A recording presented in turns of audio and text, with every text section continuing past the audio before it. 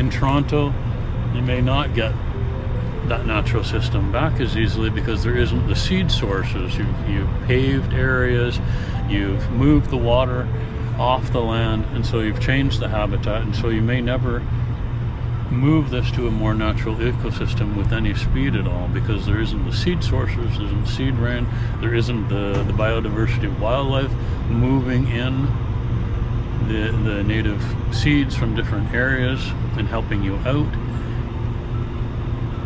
And you also have these invasive species that are holding the site and not allowing the native species to come in because a lot of times it's it's whoever comes first is going to hold the site and it's much harder to get other species to come in once you have that established. Over on this side,